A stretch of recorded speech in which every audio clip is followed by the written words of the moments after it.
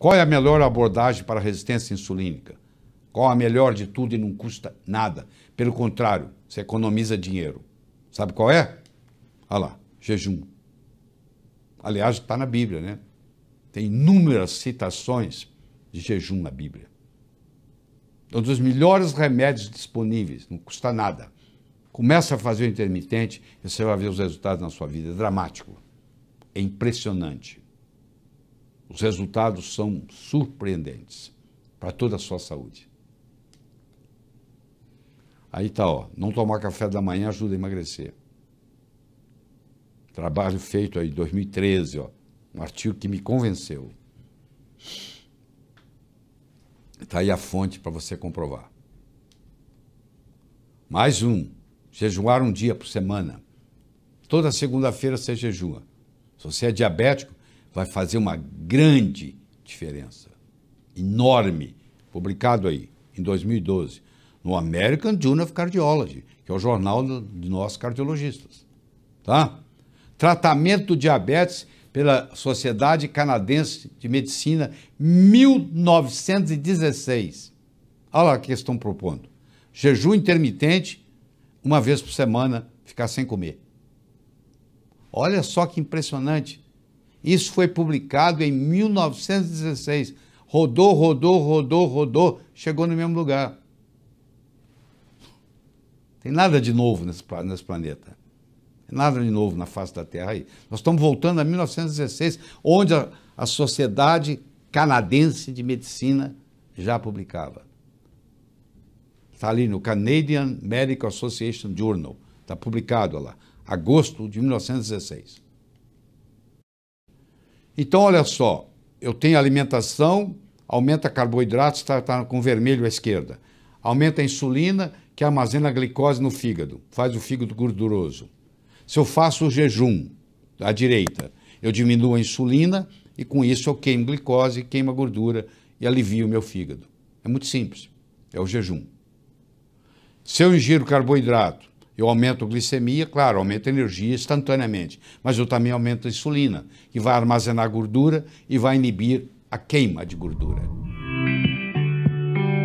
Esse indivíduo aí chama Ben Greenfield, já ganhou Ironman acho que cinco vezes nos Estados Unidos, e ele mostra que ele não ingere nenhum carboidrato. Ele só faz uso de dieta cetogênica. E ele mostra a superioridade metabólica das gorduras como combustível, a melhora mental que ocorre com o metabolismo cerebral das cetonas que são geradas com essa dieta cetogênica, a saúde e longevidade proveniente do controle da glicemia na presença de cetonas. Ele tem um livro, se você lê em inglês, que também você pode baixar no Amazon.com digital, que eu recomendo você ler, que se chama Além do Treinamento, Beyond Training, escrito por ele, mostrando a mudança que ocorreu na vida dele quando ele parou de ingerir carboidratos para as competições de Ironman e passou a ingerir é, gorduras e o, o tempo dele melhorou, ele passou a ganhar mais corridas, mais competições e etc e tal, e te dá uma ideia geral do processo. Mas tem números. A dieta cetogênica, ela funciona como anticonvulsivante, ela tira o apetite, ela te acalma, ela dá uma claridade mental. É, os benefícios são muito, são muito grandes para ser estudados, tá? E aí está a dieta cetogênica que eu já mostrei para você, que é das mais brandas. 70% de gordura, 20% de proteína, 10% de carboidrato, conversa com o nutricionista, que ela vai bolar uma dieta cetogênica para você. Pode ser até vegana, pode ser vegetariana, pode não ter nenhuma gordura animal, só gordura vegetal, se você quiser. Certo? Funciona do mesmo jeito. Aqui tem livro de dieta cetogênica interessante. Se você vai no Amazon.com e faz os cálculos lá, tem mais de 1.500 livros sobre dieta cetogênica no Amazon.com. Todos falando bem. Infelizmente, no Brasil, pouco se conhece da dieta cetogênica. Você pode se aprofundar aí, você vai ter livro, livro para você ler o resto da sua vida e você não dá conta. Todos falando bem. Todos falando bem.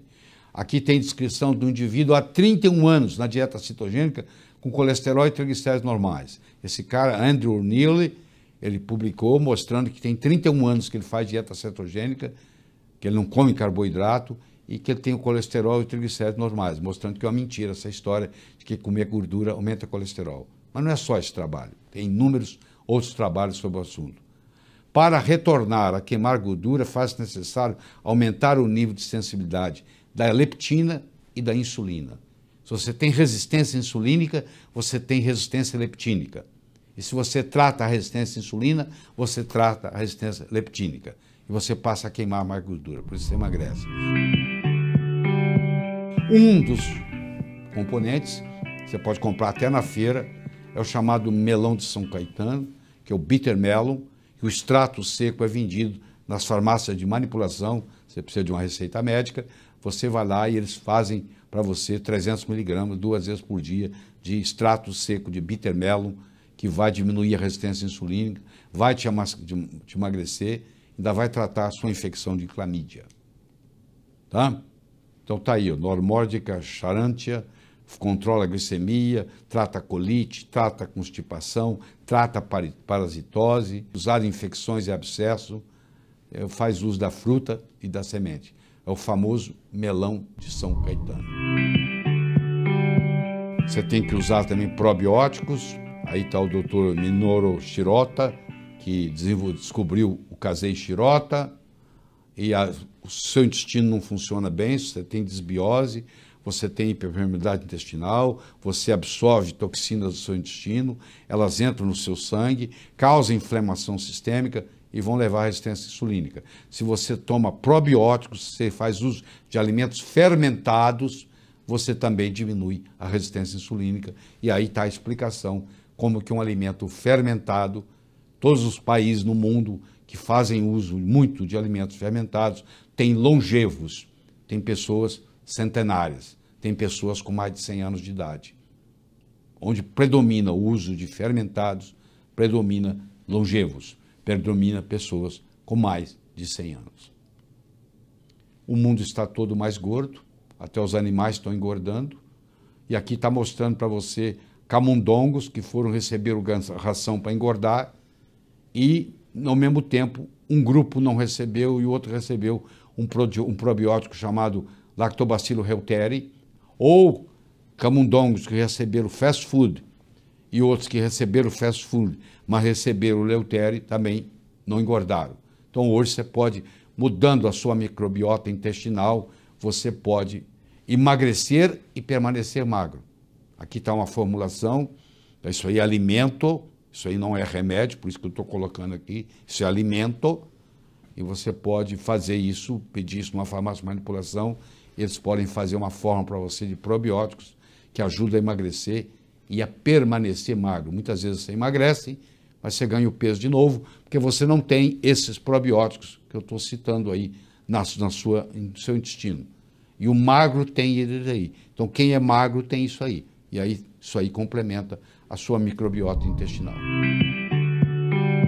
Vocês estão vendo que com o passar dos anos, com essa gordurofobia, à medida você está vendo ali a ingestão de gordura em azul, com o passar dos anos, entre 1953 e 1990, acompanha as bolinhas azuis, diminuiu. Agora se acompanha a obesidade, as bolinhas vermelhas, subiu. Enquanto você diminuiu a ingesta de gordura, você aumentou o peso. Olha aí, de 1955 a 1990, provando para você mais uma vez que se você come gordura, você emagrece, mas se você come carboidrato, você engorda. Você diminui, o americano diminuiu a ingesta de gordura, aumentou a ingesta de carboidrato para compensar engordou aí.